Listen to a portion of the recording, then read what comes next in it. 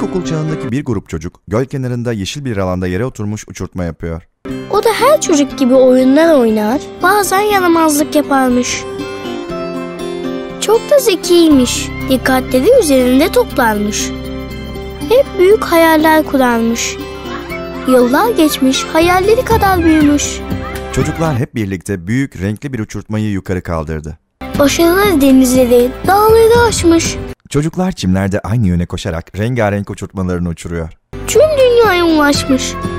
Yeni nesil, gelecek sizindir der ileriye bakarmış. Çocuklar durmuşlar. Neşeyle gökyüzünde süzülen uçurtmalara bakıyorlar. Çünkü büyük hayaller gökyüzüne kadar uzanırmış.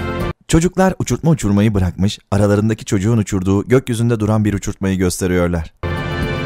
Bizi o kadar sevmiş ki koskoca bir bayram bırakmış.